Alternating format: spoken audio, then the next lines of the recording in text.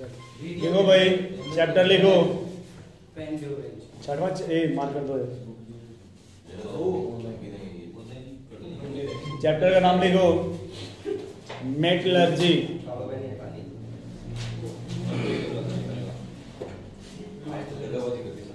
क्या लिखो लिखो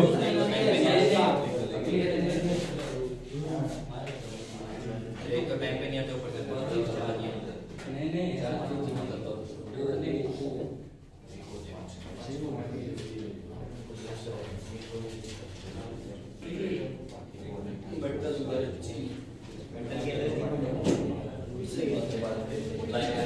है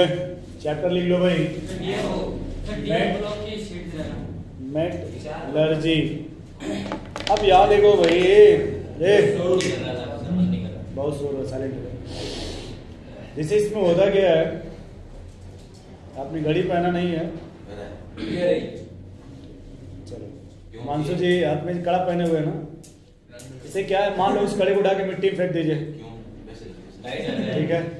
सुनो पहले साइलेंट या फिर जैसे ये चैन है ना ये तो ये घड़ी में चैन लगा है ना तो तुम सोच रहे वो चैन नहीं है ठीक है इसको ऐसे ही जो ले जा करके मिट्टी में फेंक दीजिए इसको ठीक है और इसको मतलब फेंक करके भूल जाइए हाँ। आप हम नहीं अपना घड़ी हाँ, फेंक करके चलो अब इसको कुछ दिन बाद जब निकालिएगा ठीक है तो इसमें बहुत से धूल जम जाएंगे बाहर बालू है ना उधर वो सब बैठ जाएंगे ना आकर के तो उस समय आप देखिए इसमें जब धूल उल बैठ गए जैसे आपने इसको मिट्टी फेंक दिया ना अब ये भाई साहब खोजे चले गए जेसीबी लेकर के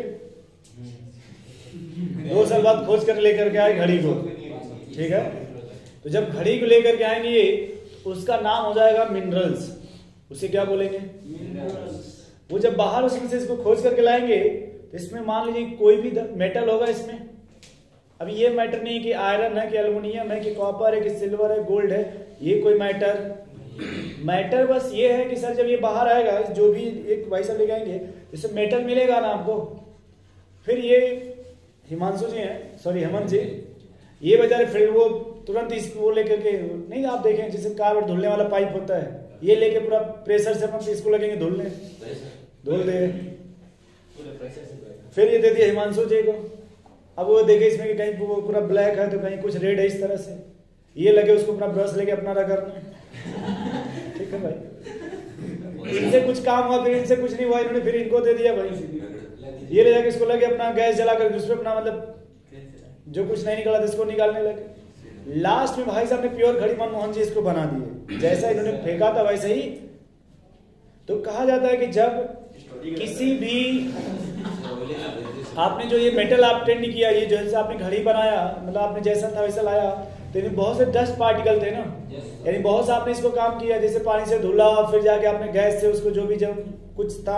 जंग लग गया था उसको इन्होंने स्प्रे किया फिर उसको मतलब किस तरह से निकाला आपने तो जितना ये पूरा प्रोसेस होता है मेटल प्राप्त करने का उसी को क्या बोलते हैं भाई यानी आपको मिट्टी में से कोई मेटल मिल गया आपने उसको जैसे भी धुलाया नाला जो भी किया आप जो फेस वॉश करिए फेस पे जो भी कर रहे हटाओ डॉ पहले तो इसी को क्या बोलते हैं भाई मेटलर्जी मेटल प्राप्त करने के लिए जितने भी उसमें प्रोसेस आएंगे पूरे प्रोसेस को एक साथ बोलते हैं भाई मेटलर्जी यानी इसमें क्या प्राप्त किया जाएगा मेटल ठीक है अब इसमें नहीं लिखिएगा मिनरल्स ए छोटू देखो मिनरल्स ऋषि को दे दो ऋषि का तुम उसमें ले लो चलो नहीं नहीं लिखो पहले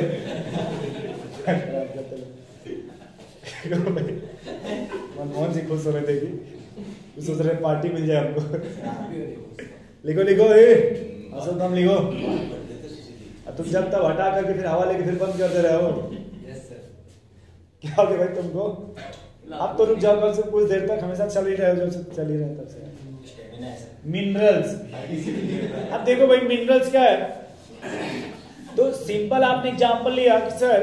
आपके पास जो भी घड़िया वगैरह जो आपने इसे फेंक दिया फेंक के भूल गए तो आपने जो जेसबी से निकाला ना जो भी आपने जमीन में से जमीन से अब जैसे भी आपने निकाला अब उसमें अगर मेटल है थोड़ा बहुत भी मेटल है तो सर उसी को क्या बोलते हैं थोड़ा भी होना चाहिए मेटल होना चाहिए अब ये नहीं कि बाहर जाके नाला साफ कर रहे हैं और बोले सर इसे पूरा इंप्योरिटी है लेकिन उसमें मेटल अगर उसमें मेटल है तब नाम उसका क्या देंगे और अगर उसमें मेटल नहीं है तब मिनरल्स नहीं है देखिए फिर नेचुरल ऑकरिंग सब्सटेंस नेचुरल कहां आपने तो नया था new artificial natural occurring chemical substance substance which contain which contain percentage of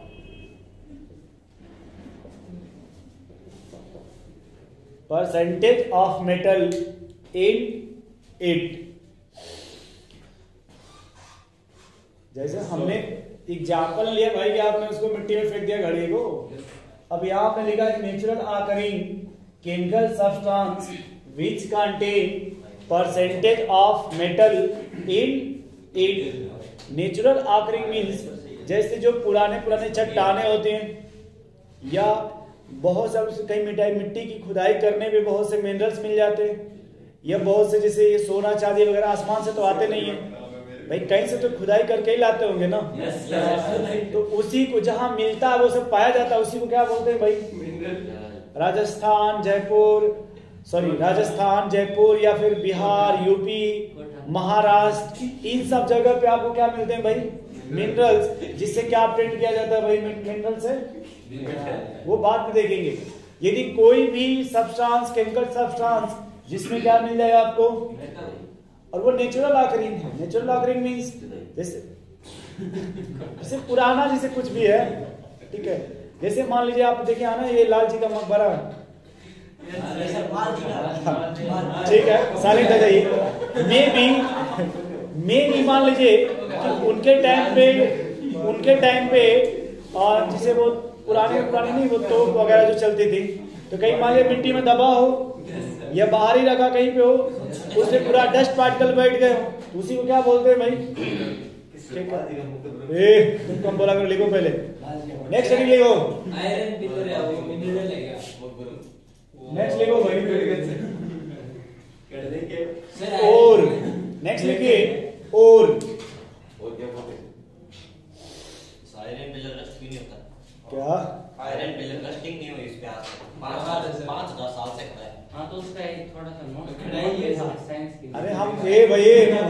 हम ये पढ़ा रहे ओल अब तुम लोग हाँ। पिलर बना रहे हम काम कर रहे हैं उसको बना पहले से बना हुआ है अभी बाहर निकाल दे सांधे साथ नहीं रहोगे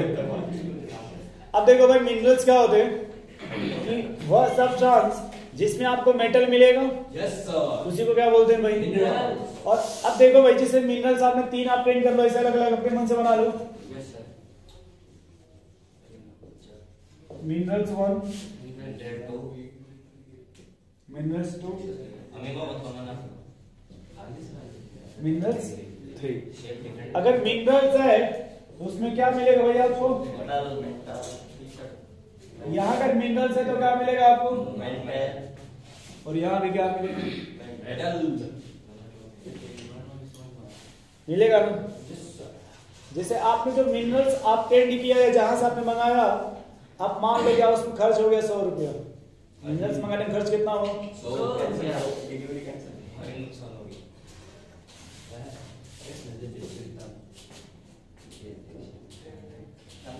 ठीक है भाई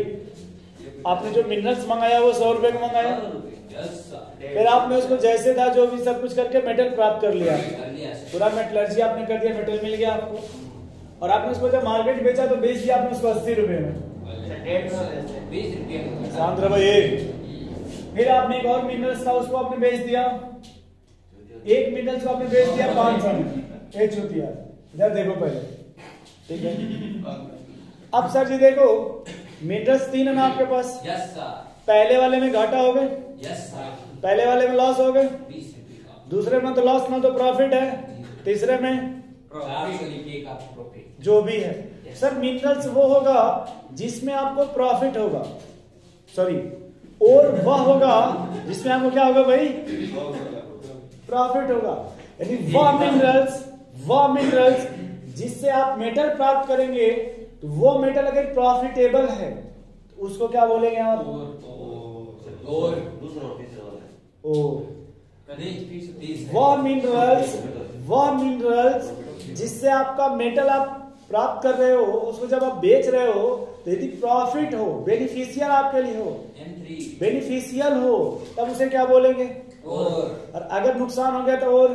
नहीं बोलेंगे लॉस है तो और नहीं बोलेंगे अब जितना बेनिफिशियल उतना अच्छा और लिखे फिर minerals from which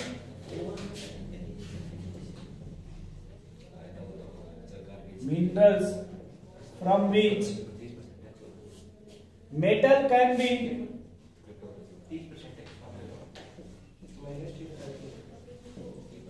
extract, extracted beneficial a minerals from which metal can be extracted beneficial या इकोनॉमिकल मतलब आपका प्रॉफिट ज्यादा हो ठीक है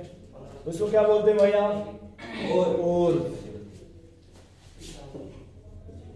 नेक्स्ट आपका आता है भाई गैंग गैंग क्या इसी को बोलते हैं मैट्रिक्स वो अलग है गैंग का वहां को हाँ,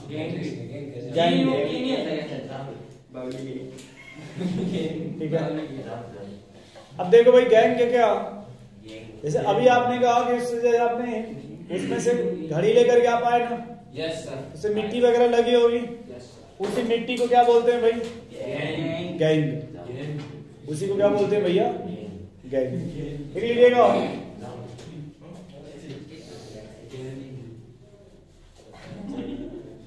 impurity प्रेजेंट इम्प्यूरिटी में क्या होगा भैया आपका सॉयल मिट्टी सैंड तो सॉइल में क्ले नहीं आ जाएगा बस इतना सफिशियंट दोनों एक अब देखो भाई मनमोहन जी गैंग का मतलब ये हुआ कि देखिए मिनरल्स आपका अलग हो गया ना जैसे आपने कहा सर जो भी मिनरल्स है यदि आप उससे मेटल सस्ते में प्राप्त कर लेते हैं तो वो क्या हो गया भाई आपका और और अब जो मेटल है जैसे आपने जो भी मिनरल्स है अगर आप देखिए यहाँ पे तो ये अब इससे आपको प्रॉफिट हुआ कि यहाँ किसमें प्रॉफिट हुआ एम से तो जो एम थ्री से ठीक है ना तो जो एम थ्री है इसमें मेटल भी होगा और इम्प्योरिटी mm. भी होगी ना भाई ये जो मिनरल्स है जिसमें इम्प्योरिटी भी होगा तो इसी इम्प्योरिटी को क्या बोलते हैं गैंग या फिर मैट्रिक्स इसी को क्या बोलते हैं गैंग या फिर मैट्रिक्स नेक्स्ट लिखिएगा फ्लक्स और स्लाइड ये दो आगे चल करके पढ़ेंगे यहाँ नहीं पढ़ेंगे बस नाम लिख लीजिए यहाँ पे फ्लक्स और स्लाइड अब जैसे ये पूछ रहे हैं भाई कि मनमोहन जी हाँ, कि फ्लक्स क्या होता है जैसे देखो या तो हमें बोलो तो या फिर तुम बोलो जिससे हम बोले वो बोलो तो अच्छा लगेगा ना समझ में आएगा क्या बोलना चाहते हैं सब उसमें आज पच करोगे तो माहौल बिगड़ जाएगा ना अब देखो भाई सब शांत है तुम लोग भी जो बेवजह का फालतू बोलते रहते हो अपना दिमाग खराब करते हो क्यों भाई हाँ। तुम मास्क लगा के कम बोला करो ठीक है हाँ सुनो भाई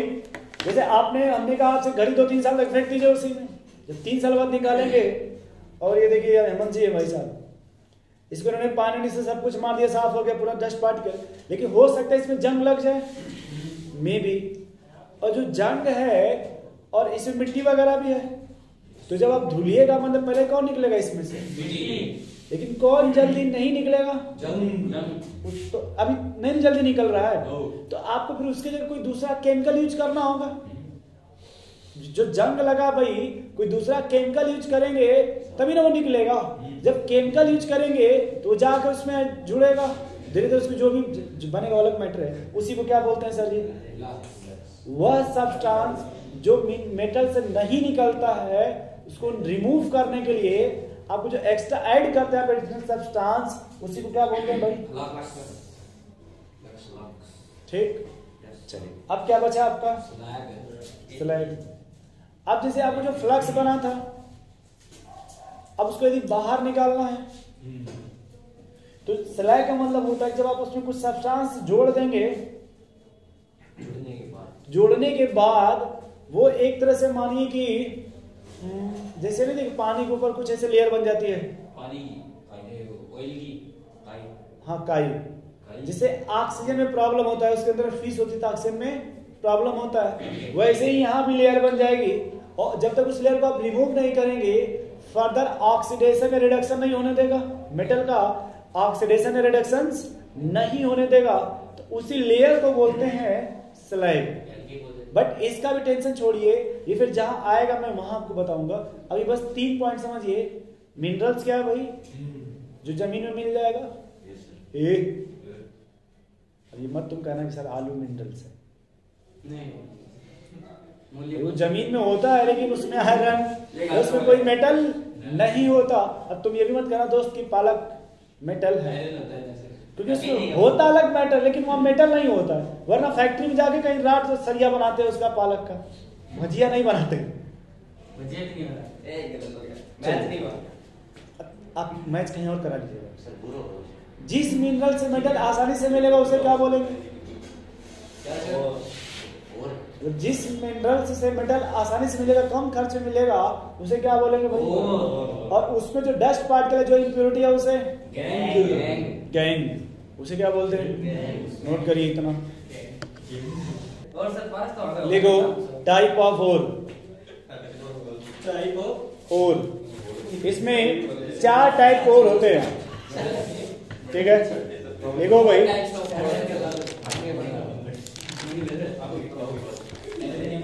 चलो ये शांत रहो एकदम सब कोर्स कितने टाइप होगा भाई पहला वो होगा जो किस फॉर्म होगा आपका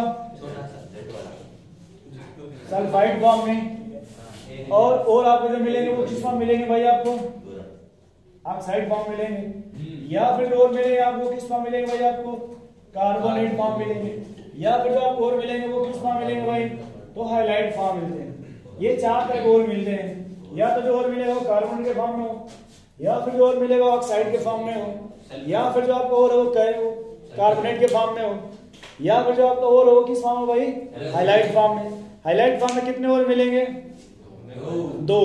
हाईलाइट फॉर्म में कितने मिलेंगे भाई हेमंत जी दो हेमंत जी हाईलाइट फॉर्म में दो देखिए यहाँ पे एक को बोलते हैं क्रायो क्रायोस्पर क्रायोस पर सी ए एफ टू एक होता है आपका क्रायोबाइट सर क्या इनकी स्पेलिंग आपकी गलत है N A three A L F six sir G U N G A E G U N G A E G U E last में तो वही तुम्हारी बोल रहा हूँ चले उतना चलता है ठीक है इसमें निकलोगे लड़के स्पेलिंग वाले हाईलाइट में दो मिलेंगे आपको क्रायोस्पर और क्रायोलाइट दोनों देखिए आपके सी से है क्रायोस्पर और क्रायोलाइट पानी है है ना सर तो चलो ठीक है ये देखो भाई चेंज कर लेना ये फ्लोरास्पर होता है बोलना बहुत दो तीन बार बोल दो पुष्पा तीसरे बार आ जाएगा फ्लोरस्पर फ्लोरस्पर ठीक अब यहाँ देखो आपकी जो सल्फाइड फॉर्म में इसमें देखिए क्या क्या मिलेगा ये आपको जैसे आपने ये नाम सुना होगा हाँ क्या भाई आपका आयरन पायराइट दूसरा आपका आएगा कॉपर पायराइट तीसरा आपका सिल्वर ग्लांस सिल्वर क्या तो होता है एजी होता है ना सिल्वर ग्लांस चौथा आपका आएगा copper glance G G C U two S पांचवा आएगा आपका जिंक ब्लाइंड बहुत से जेड एन एस छठवा आपका आएगा गैलेना पीबीएस और सातवा आपका मिलेगा सिनेमा एच जी एच ये आपके सल्फाइड फॉर्म में कॉपर पर iron pyrite copper pyrite silver glance copper glance zinc blende galena cinnabar अब यहां देखो आयरन पायराइट में बस खाली क्या लगा दिया भाई क्या बन गया आपका कॉपर पायराइट और सिल्वर है उसमें सल्फर लगा दिया तो सिल्वर ग्लांस कॉपर है तो कॉपर ग्लांस जिंक है तो जिंक ब्लेंड उसके बाद आपका गैलेना और सिनेबल ये आपके सल्फाइड फॉर्म में सल्फाइड बाद कौन आएगा भाई आपका देखो मत इधर देखो पहले बोर्ड पे बाद में लिख लेना uh, इसमें आपको क्या क्या आएगा भाई हेमेटाइट मैग्नेटाइट टाइट ठीक है सुधरोगे नहीं यार हेमेटाइट मैग्नेटाइट पायरोलोसाइट बाक्साइट क्या हो गया बाक्साइट चलिए इसमें इतना ही सर किसी है और है भाई कार्बोनेट में कार्बोनेट जो पहला है वो मैलाकाइट मैलाकाइट CuCO3 CuOH का होल ट्वाइस सेकंड आपको आएगा राइट इसी में दो से गुणा कर देंगे CuCO3 और CuOH का होल ट्वाइस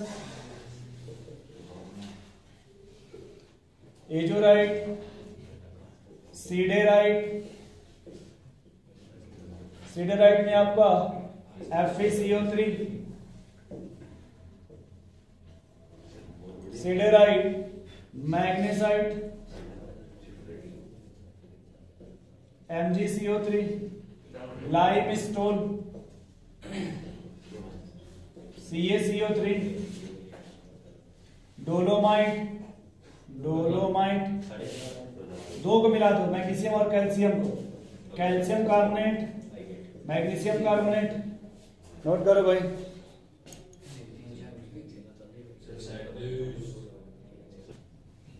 बाक साइड का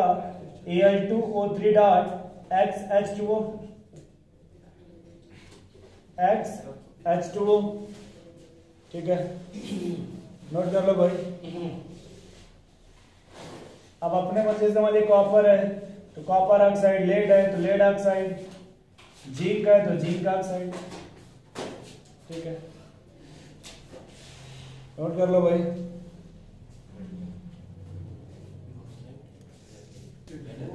aqueous solution use in extraction extraction मतलब होता है जो मेटल प्राप्त करने का प्रोसेस है उसमें यूज होगा पायरोमेटलर्जी का है heat is use in extraction pyro में आपका हीट यूज होगा heat is use in extraction आप इसी में नाम पढ़ेंगे एलिंगम डायग्राम जब एलिंगम डायग्राम पढ़ेंगे तो वहां फिर आपका पढ़ेंगे भाई पायरोमेटलर्जी ठीक है और जब रोस्टिंग पढ़ेंगे आप रोस्टिंग तो वहां पढ़ेंगे आप हाइड्रोमेटलर्जी और जब इलेक्ट्रो पढ़ेंगे इसी में इलेक्ट्रोमेटलर्जी तो उसमें आएगा आपका इसमें यूज करेंगे भाई electrolysis electrolysis used in extraction जैसे आपने एनएससीएल का नाम सुना होगा एनएससीएल जैसे एग्जाम्पल क्या करें एनएससीएल जब यूज करेंगे आप इलेक्ट्रोलाइसिस कराएंगे तो जो सोडियम है इसका कैथोड बनता है और क्लोरीन गैस उसमें से निकल जाता है ये जब इलेक्ट्रोमेट लर्ची पड़ेंगे वहां पे आएगा जिसे अगर आपका इसको मोल्टेन रॉक साल्ट बोलते हैं रॉक साल्ट इससे आपका ये जो सोडियम मिलेगा ना इससे कैथोड बनेगा इम्प्योर होता है और जो कार्बन का इसमें यूज किया जाएगा जिससे आपका एनोड बनता है कॉपर से ठीक है वो बात की बात है पर ये लिख लीजिए चलो भाई तो अब देखिए यहाँ पे कि जो आपने मेटलर्जी लिखा भाई इसमें बहुत से स्टेप होंगे ना भाई पहला स्टेप ये था जो आपको और मिल गया है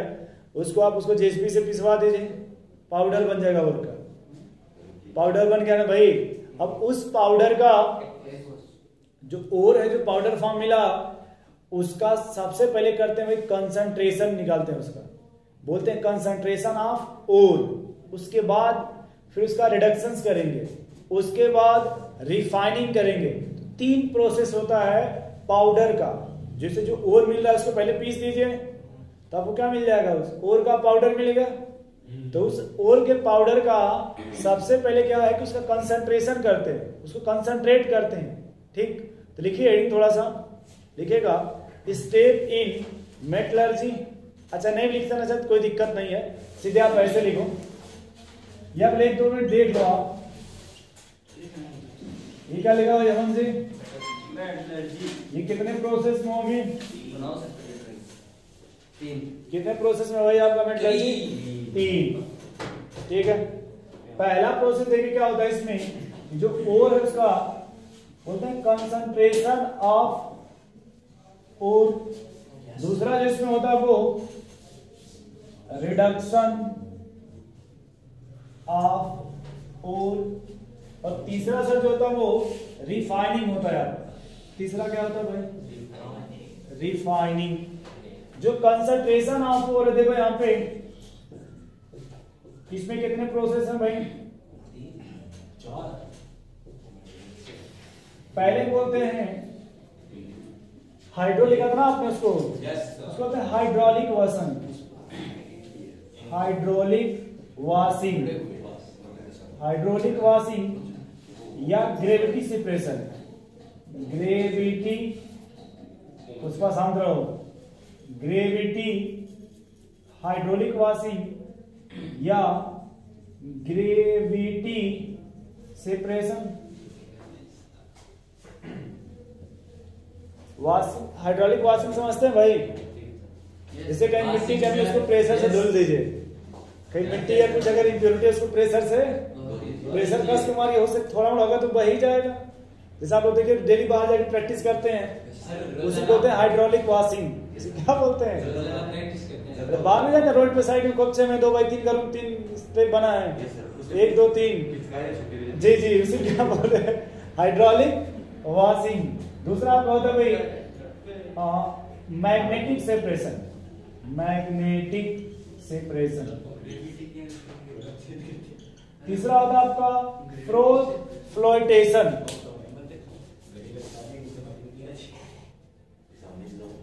दूसरा आपका भाई ग्रेविटी सेपरेशन में क्या होता है मैं बता दिया मैग्नेटिक सेपरेशन हाँ सही बोलने रहे समझने का फर्क है तीसरा आपका होता भाई फ्रोज फ्लोइटेशन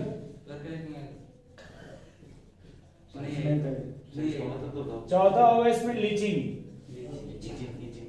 लेकिन जो सोच रहे वो लीचिंग नहीं है दूसरा होता है रिडक्शन में आएंगे ये आप कितने टाइप होंगे भाई तीन टाइप के पहला को पहले को क्या बोलते हैं भाई रोस्टिंग दूसरा आपका भाई कैल्सिफिकेशन और तीसरा आपका है स्मेल्टिंग नोट करो भाई थर्ड इसका है इसमें आपका है स्मेल और रिफाइनिंग में देखो भाई रिफाइनिंग में क्या होगा आपका रिफाइनिंग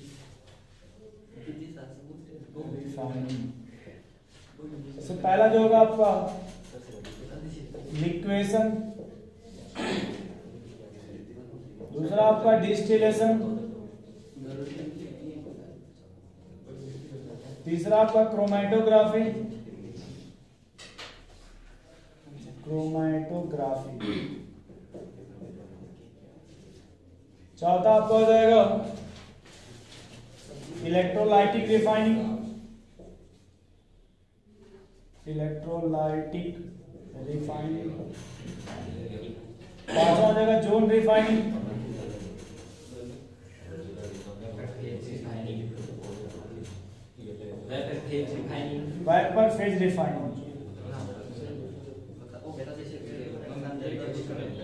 vapour phase refining अब ये जो स्मेल्टिंग है इसलिए नाम पड़ेगा एलिगम डायग्राम नोट कर लो इतना पहले अब हेडिंग डालो भाई कंसंट्रेशन ऑफ ओल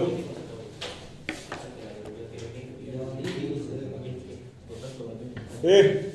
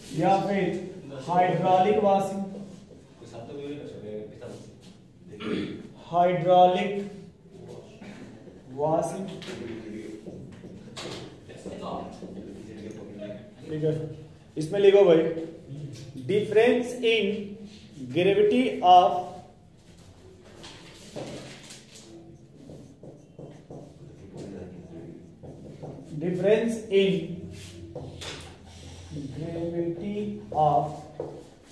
ore particle and gangue particle ore particle and gangue particle यही बोल रहे थे ना भाई G N G U E ore particle और गैंग पार्टिकल के बीच में जो डिफरेंस होता है वो किसका डिफरेंस है भाई आपका ग्रेविटी का तो उसी को क्या बोलते हैं भाई आपका ग्रेविटी सेपरेशन ठीक है लिखिएगा powder ore eat fast week powder ore it fast week powder ore is fast way stream of water stream of water stream of water stream of लिखेगा हैवी पार्टिकल ऑफ ओर आपके साथ जी heavy particle of ore settle down heavy particle of ore settle down उधर अभी light gangue particle light gangue particle wash away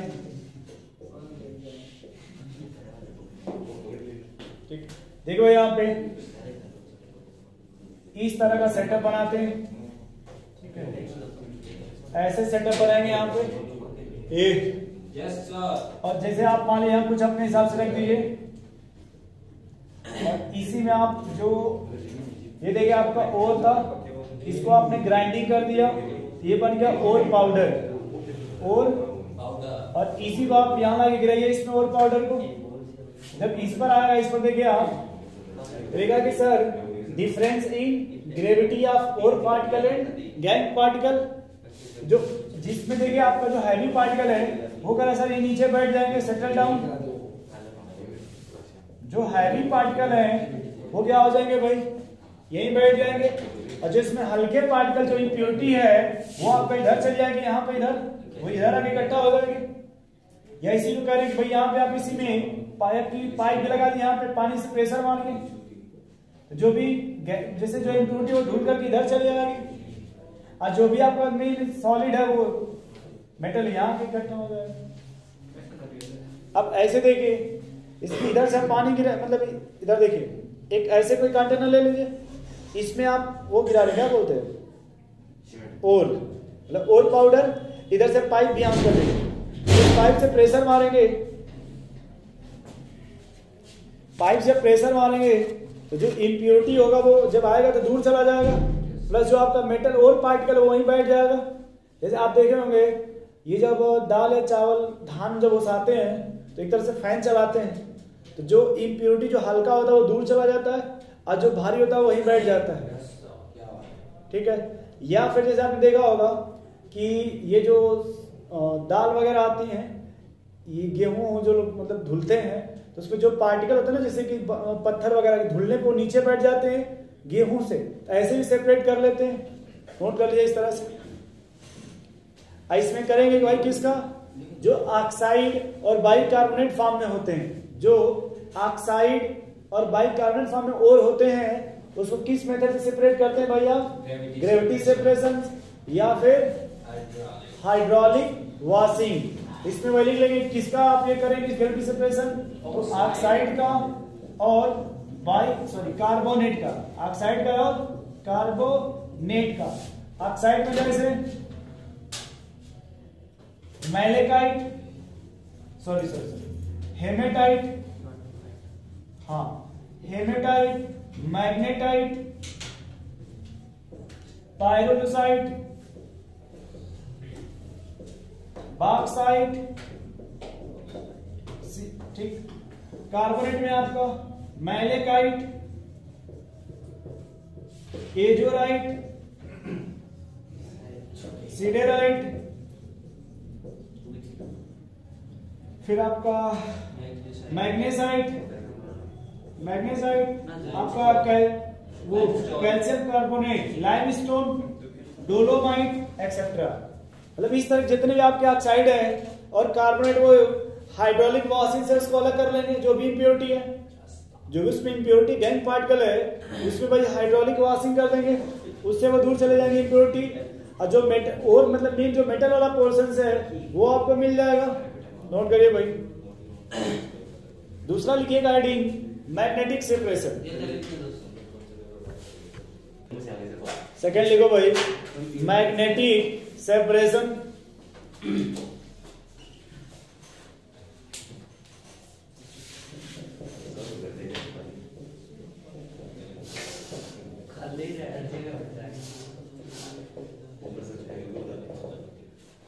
magnetic separation यहां पे देखिए एक बार फिर से सुनिए आप सर और या इम्प्योरिटी दोनों में से किसी भी एक में मैग्नेटिक प्रॉपर्टी पाया जाएगा चाहे वो और में भी हो सकता है या फिर आपका जो इंप्योरिटी है उसमें हो किसी एक में रहेगा ये कोई कंफर्म नहीं है कि और में होगा या फिर इम्प्योरिटी में किसी भी एक में मैग्नेटिक प्रॉपर्टी होगा चुंबकीय गुण अगर जिसको हम इसकी मेथड से सेपरेट करते हैं लिख लीजिए इसमें कि भाई साहब पूछ रहे होता क्या साइकिल चलाया कभी करें साइकिल जी साइकिल देखो इसमें दो चक्के होते हैं तो अच्छा वो नहीं जानते ध्यान जानते सर चार चक्का वाली है ना कम से कम चार चक्का वाली यस ठीक ये दो चक्के हो गए भाई इसमें से आप किसी भी एक चक्के को बनाइएगा उसको मैग्नेट उसमें लगा दें किसी भी एक चक्के का जो ये बनाएंगे उसको एक पे मैग्नेट लगा किसी भी पे लगा दिया मैग्नेट और एक को वैसे नॉर्मल बनाएंगे फ्री बिना मैग्नेट का ठीक है एक में आपने क्या लगा दिया भाई मैग्नेट और एक को वैसे नॉर्मल बनाएंगे ठीक है और इस पर आपको इस तरह से देख ये मतलब ये यहाँ मतलब ये है कि जो ये रहेगा वो ऐसे रहेगा कुछ इस तरह से चौड़ा सा पूरा रहेगा ये जो पट्टा रहेगा उसको पट्टा बोलते हैं कुछ ऐसा मतलब चौड़ा रहेगा और फिर उस पर किसी भी एक तरफ से आप गिराइए और ला करके आप शायद इधर से हेमंत जी जहाँ से आपको पसंद है वहां से गिराइए ठीक अगर आप यहाँ से गिराते हैं तो ये आप अगर ऐसे मतलब गिरा रहे हैं आप ऐसे तो जिसमें भी मैग्नेटिक प्रॉपर्टी होगा चाहे वो और हो या फिर और हो या आपका इम्प्योरिटी हो जो भी रहेगा आपका डेबिट जिसमें रहेगा वो इसी से चिपक जाएगा यहाँ भी इकट्ठा हो जाएगा वो देखिए वो यही इकट्ठा हो जाएगा और जैसे जिसमें नहीं रहेगा वो इसी से ऐसे दूर चला जाएगा वो आगे यहाँ इकट्ठा हो जाएगा समझ गए भाई जिसमें मैग्नेटिक प्रॉपर्टी वो यहाँ आगे इकट्ठा हो जाएगा आज इसमें नहीं होगा वो दूर चला जाएगा तो नोट करिए इसमें difference in magnetic property of ore particle and impurity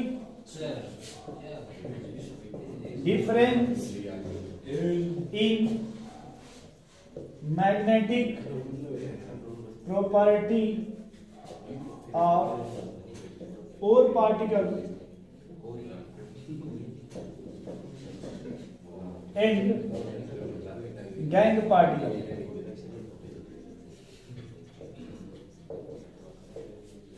ore particle and gangue particle चाहे किसी को इम्प्योरिटी भी बोल सकते हैं गैंग पार्टिकल को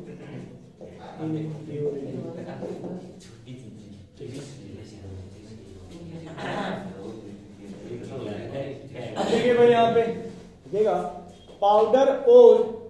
is drop on belt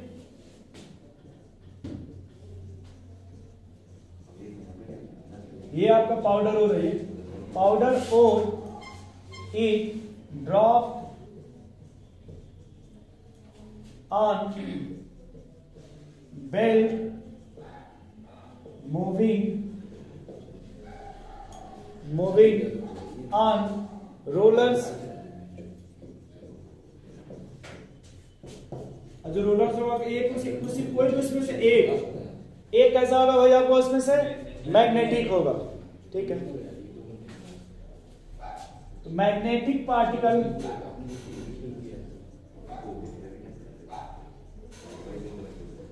is ore magnetic particle is ore are attracted by magnet and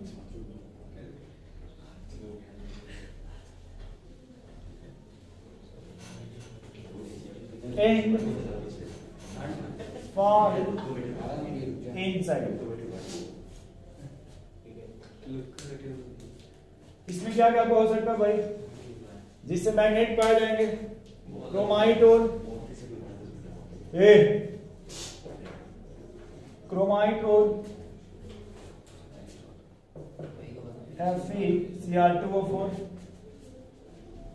यही हो सकता है इसको हेमेटाइट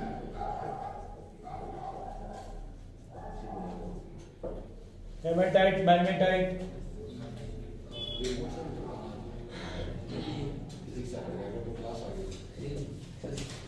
ठीक है ये सब इस तरह से सेपरेट किए जाते हैं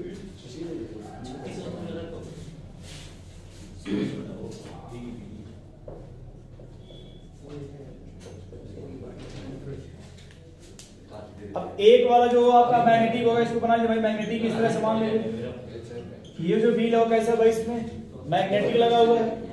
और इस पर आप एक बेल्ट लगा दीजिए इस तरह से ठीक भाई बारह से बेल्ट लगा दिया आपने और यहाँ से आप जो पाउडर हो रहे हैं वो आप इस बेल्ट पे गिराइए ये बेल्ट इधर आगे की तरफ जा रहा है भाई हिमांशु हाँ, अब कह रहे हैं आप माना गया जो मैग्नेटिक पार्टिकल इज और इसको माना गया भाई तो वो आप कहीं देखिए यहीं आके इकट्ठा हो जाएगा यही इकट्ठा हो जाएगा जो इम्प्योरिटी है अब व्हील है तो वहीं से दूर चला जाएगा वो जाके अपना इधर इकट्ठा हो यही आपका भाई मैग्नेटिक सेपरेशन नोट करिए फोर्थ ले भाई लीचिंग थर्ड सॉरी तीसरा तो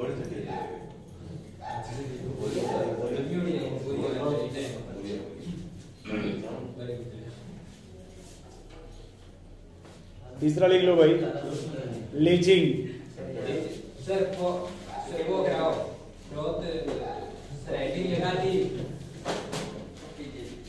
लिखो भाई लीचिंग है क्या थर्ड सर वो लगा दिया चार बार बोला हूँ लीचिंग सर वो आप आप अपने से लिख रहे हो किस चीज देखो किसने लिखा होगा लीचिंग लिखा होगा क्या लिखा भाई आपने आपने क्या लिखा भाई सर हमने यहाँ से लिखा तो चले कोई बात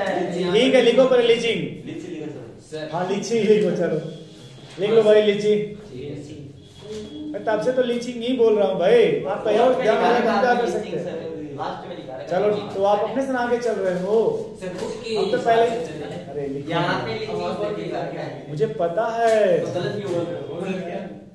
अभी जो टाइम है ना वो लीचिंग पढ़ाने में खत्म हो जाएगा आज नहीं हो पाई इसलिए मैं उसको नहीं छेड़ रहा हूँ थोड़ा वो बड़ा है तो छीट का तेल आएगा सब बोलेंगे कहीं और चले जाएंगे सोचते सोचते ठीक है चलो लिखो पहले तुम वहां चले गए लिखो हाँ ये दिक्कत हो जाती है लोग और लेके चले समझा कर इसलिए कल जब फ्री तो तुम पढ़ा के निकल निकल जाएंगे जल्दी से लास्ट टाइम लेके और चले तो हो नहीं पाएगा लिखो भाई लीचिंग तो तो लिख लो इसमें when metal is more soluble than impurity When metal is more soluble than metal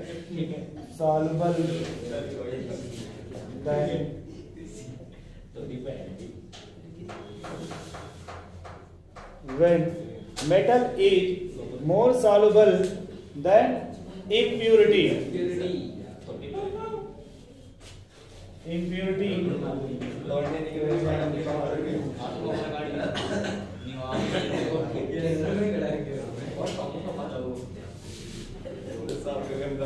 when metal is more soluble than impurity present in its ore यानी जो ore है उसमें impurity से भी ज्यादा soluble आपका metal है जो metal है वो ज्यादा soluble है as compare to impurity example के किसकी किस इम्प्योरिटी मिलेगी भाई यह कौन कौन से मेटल है एल्युमिनियम सिल्वर गोल्ड इसका भाई एल्युमिनियम सिलिकॉन सिल्वर गोल्ड ठीक है और कॉपर भी कभी कभी आ जाता है देख लो भाई कॉपर आप बताओ सिल्वर ग्लास का फार्मूला बताओ तो आप बताओ भाई सिल्वर ग्लास का फार्मूला सिल्वर ग्लास एजीएस तो यहाँ देखिए के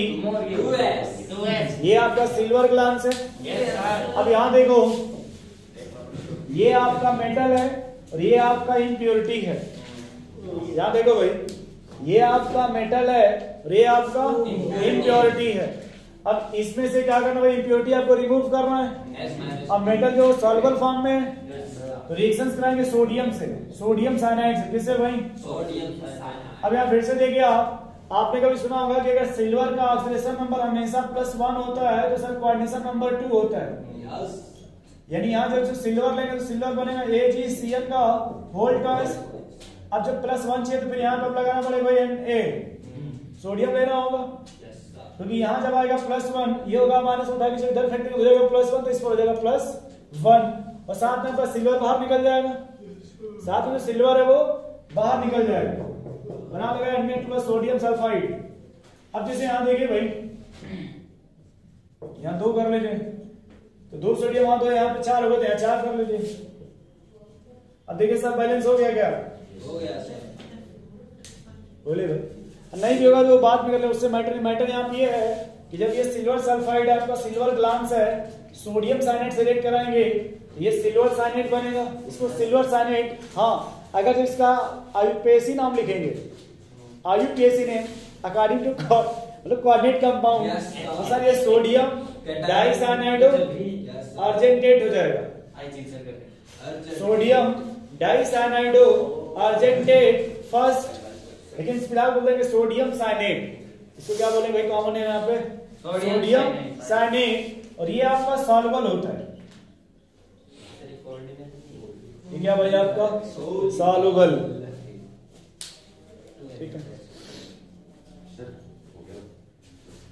अब अगले स्टेप इसमें क्या करें कि सोडियम साइनेट बना आपका ये देखिए भाई N A A G C N का होल ट्वाइस अब इसका रिएक्शन किससे करा देंगे भाई जिंक का और जिंक सिल्वर से हाईली रिएक्टिव होता है जो जिंक है वो सिल्वर से हाईली रिएक्टिव होता है जब हाईली रिएक्टिव है तो उसको डिस्प्लेस कर देगा उसके जगह बैठ जाएगा सोडियम सॉरी जिंक और जीन का होता है क्वाड्रेशन नंबर चार इसलिए हो जाएगा फोर सोडियम बाद में अलग लेंगे और साथ में क्या मिल जाएगा भैया आपको सिल्वर साथ में क्या मिल जाएगा भैया आपको यहाँ पे सिल्वर ठीक है